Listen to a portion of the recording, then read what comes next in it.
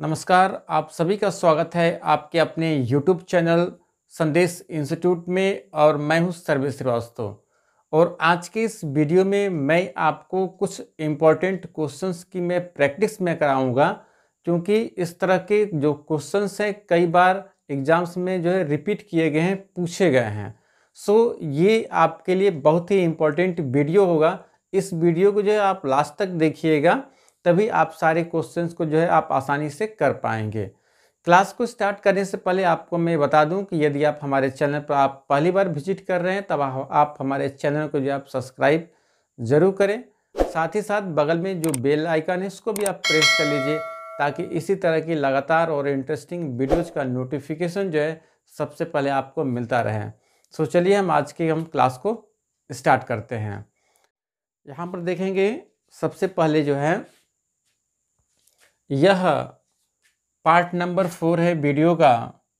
इसके पहले जो है, तीन वीडियो जो है पहले से अपलोड कर दी गई है। आप उसको जो है प्लेलिस्ट में जाकर आप वहाँ से उसको देख सकते हैं।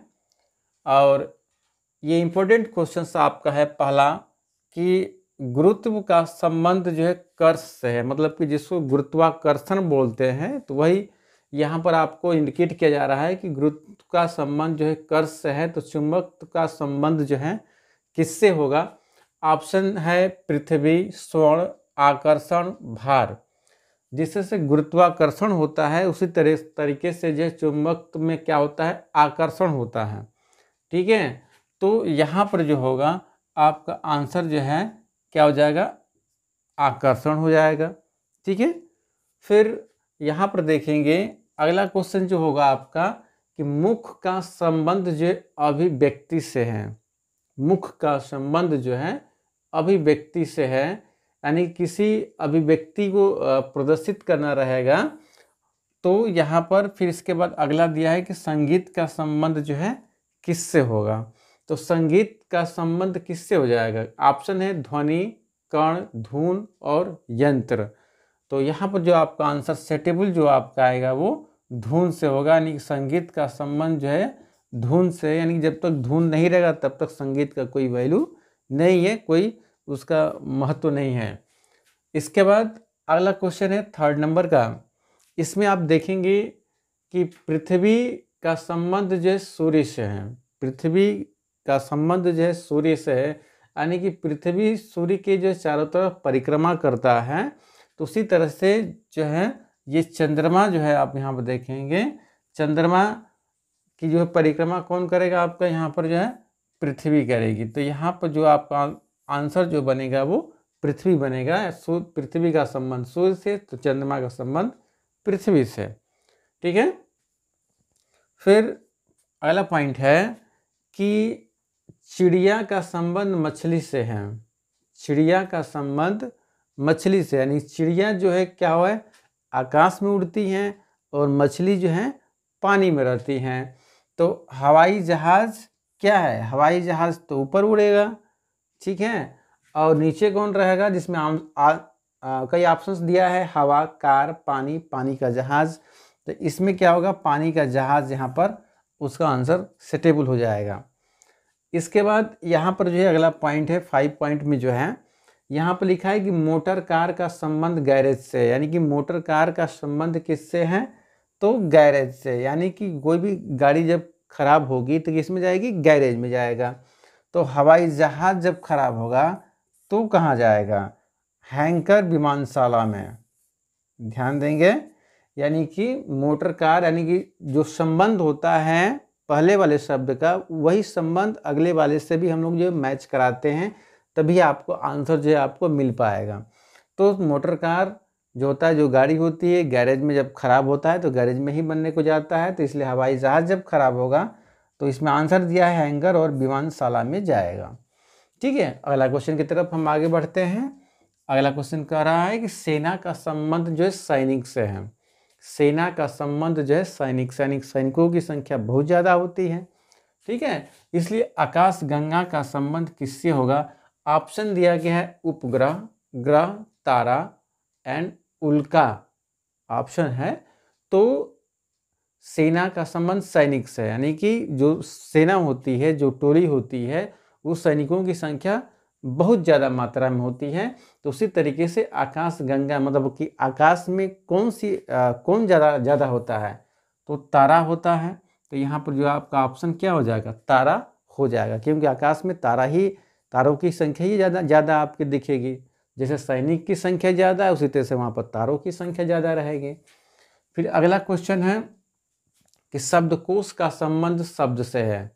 ठीक है? यानी कि शब्दकोश का संबंध शब्द से, यानी कि जो भी, कोई भी शब्द जो होता है, उस शब्द को फाइंड करने के लिए हम लोग शब्दकोश का हम लोग हेल्प लेते हैं। यानी कि जैसे डिक्शनरी है डिक्शनरी एक तरफ़ से क्या है? एक शब्दकोश है जो किसी भी हम लोग वर्ल्ड को, किसी भी हम मीनिंग्स को, वहाँ पर हम लोग क्या करते हैं? फाइंड करते हैं। तो वो क्या होगा? वो शब्दकोश हो जाएगा।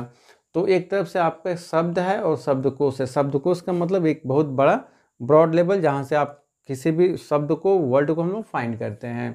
तो उसी तरीके से यहाँ पर फूल का संबंध किससे हो जाएगा? ऑप्शन है पंखुड़ी वृक्ष फुलवारी, माला। यानी फूल से जो आप एक शब्दकोश जो क्रिएट करेंगे, वो हमारा क्या होगा? हमारा वो माला होगा। क्योंकि माला में क्या होते हैं? फूलों को जो हम लोग जो है, गुथते हैं। ठीक है? तो क्या होगा? माला ही आपका यहाँ पर आंसर हो जाएगा। ठीक है? इसके बाद अगला नंबर आपका एट नंबर जो होगा। एट नंबर आप देखेंगे, वर्णमाला का संबंध अक्षर से है। वर्णमाला मतलब कई अक्षरों के ग्रुप को हम लोग जो क्या बोलते हैं? एक शब्द बोलते हैं यहाँ पर। तो यहाँ पर कई अक्षर हैं, ठीक है? तो अक्षर का, वर्णमाला का संबंध अक्षर से है तो हार का संबंध किससे हो जाएगा? हार मतलब कि हार जो पहना जाता है, उस हार की बात यहाँ पर हो रही है, ठीक है? चांदनी, मोती, अंगूठी, इसका संबंध पूछ, दिया गया है तो हार का संबंध जो है यहाँ पर मोती से हो जाएगा, ठीक है? अब आगे की तरफ़ अगला नंबर है निरक्षरता मतलब कि अनपढ़ जिसको कहते हैं निरक्षरता का संबंध शिक्षा से है तो बाढ़ का संबंध किससे होगा? मतलब कि निरक्षरता मतलब जब शिक्षा जो होगा, शिक्षा आप किसी को आप देते हैं तो उस, उसकी अज्ञानता दूर होती है, उसकी निरक्षरता दूर होती है। तो उसी तरीके से जो है यहाँ पर बाढ़ का संबंध किससे होगा? ऑप्शन है वर्षा, पुल, बाँध, नदी। यानी कि बाढ़ का संबंध जो है बाँध से होगा।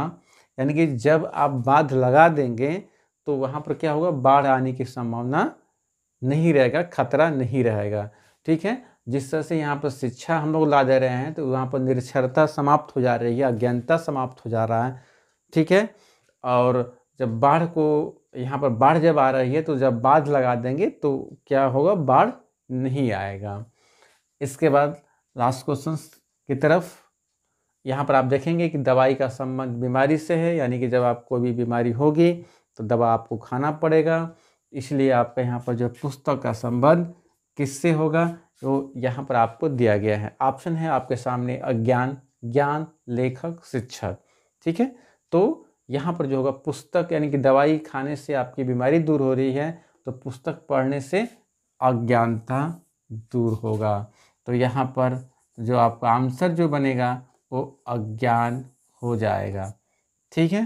तो ये जो आपने क्वेश्चन जो देखा है यहाँ पर, यह सेलेक्टेड क्वेश्चन था जो कि यह एग्ज़ाम में कई बार पूछा गया है और इस तरह के क्वेश्चंस जो है, जब आप इस क्वेश्चन को, जब आप इसको जब लगा लेंगे, जब आप इसको आसानी से आपके दिमाग में जब प्रैक्टिस जब बन जाएगा तो इस तरह के जितने भी क्वेश्चन जब आएँगे तो आप अपने माइंड्स का आप यूज़ करते हुए उस क्वेश्चंस को आप आसानी से बना पाएँगे। ठीक है? आई होप आज की वीडियो बहुत ही इम्पोर्टेंट आप सभी लोगों के लिए रही होगी और इसी तरह की जो है और वीडियो देखने के लिए हमारे चैनल को जो आप सपोर्ट करिए, हमारे चैनल को सब्सक्राइब करिए, उसके बेल आइकन को प्रेस करिए ताकि नोटिफिकेशन जब कभी मैं वीडियो अपलोड करूँगा तो उसका नोटिफिकेशन जो है आपको मिल जाया करेगा। चलिए किसी और दूसरे वीडियो में आप सभी से मिलते हैं। तब तक के लिए जय हिंद।